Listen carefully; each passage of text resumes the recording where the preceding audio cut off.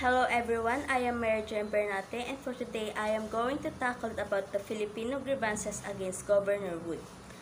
The document is a form of protest. The document served as an impeachment request for Governor Wood.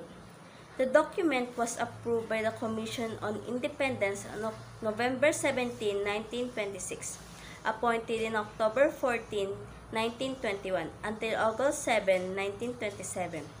A year after this, the document was approved. Governor Leonard Wood died due to surgery. He was also one of the founders of the International Association of Historians of Asia and the president of Philippine Historical Association for the three terms.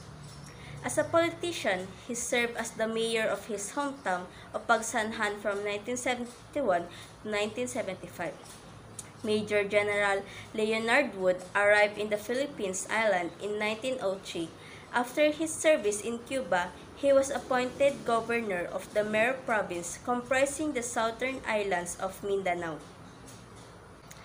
The expectation is cognizant of General Wood's participation in liberation of Cuba.